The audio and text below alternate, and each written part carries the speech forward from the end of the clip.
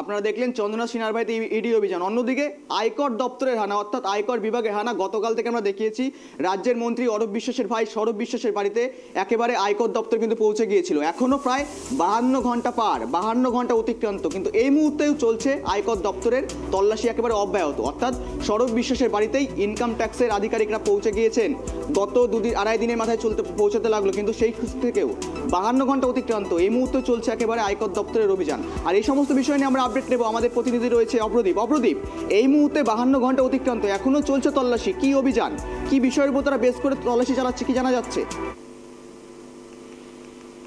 তিপ্পান্ন ঘণ্টা অতিক্রান্ত হয়ে গিয়েছে। ঘড়ির কাঁটায় এখন বারোটা বেজে সাত মিনিট প্রায় তিপ্পান্ন ঘণ্টা অতিক্রান্ত হয়ে গিয়েছে।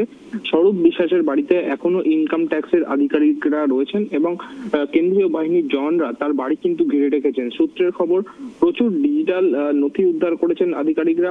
মোবাইল ফোন ঘেঁটে একাধিক কনভারসেশন দেখা যাচ্ছে।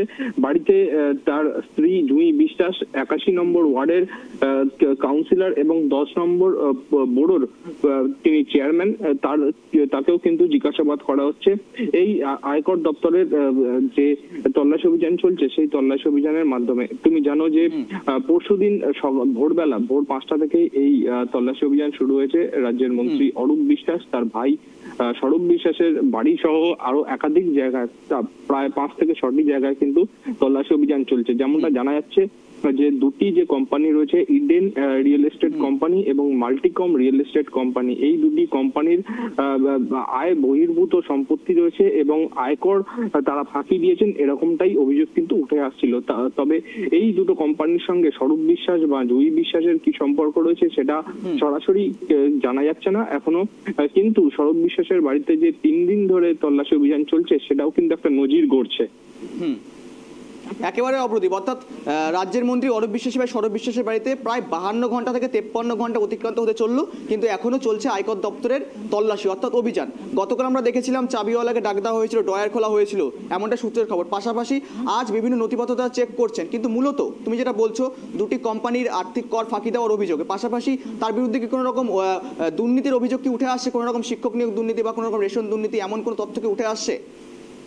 দেখো, এখনও পর্যন্ত সেরকম কোনো তথ্য কিন্তু সামনে আসেনি। তবে আয়কর আধিকারিকরা এখনও কিন্তু তল্লাশি অভিযান চালাচ্ছেন স্বরূপ বিশ্বাসের বাড়িতে এবং যে মূলত এই যে দুটি কোম্পানি রয়েছে, তার যে আয় বহির্ভূত সম্পত্তি এবং আয়কর ফাঁকি দেওয়ার অভিযোগ, তার ভিত্তিতেই কিন্তু এই তল্লাশি অভিযান চালাচ্ছেন এনফোর্সমেন্ট এই আয়কর দপ্তরের আধিকারিকরা। ধন্যবাদ অপরাধ সমস্ত বিষয়ে আপডেট নাও, তোমার কাছে আবারও আসব।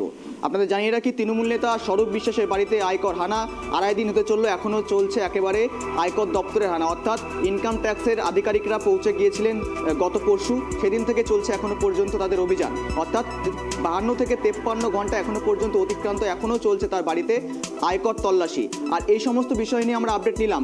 যেমনটা জানালো আমাদের প্রতিনিধি যে তার বিরুদ্ধে অভিযোগ রয়েছে, আয় বহির্ভূত সম্পত্তির নির্মাণ এবং কর ফাঁকি দেওয়ার অভিযোগ। এমন অভিযোগের ভিত্তিতে কিন্তু তার বাড়িতে ইতিমধ্যে পৌঁছে গিয়েছিল। আমরা দেখেছিলাম গত পরশু দিন আয়কর দপ্তর, অর্থাৎ আয়করের ইনকাম ট্যাক্স ডিপার্টমেন্টের আধিকারিকরা তার বাড়িতে পৌঁছে গিয়েছে এখনও প্রায় বাহান্ন থেকে তেপ্পান্ন ঘণ্টা অতিক্রান্ত এখনও তাদের তল্লাশি একেবারে অব্যাহত।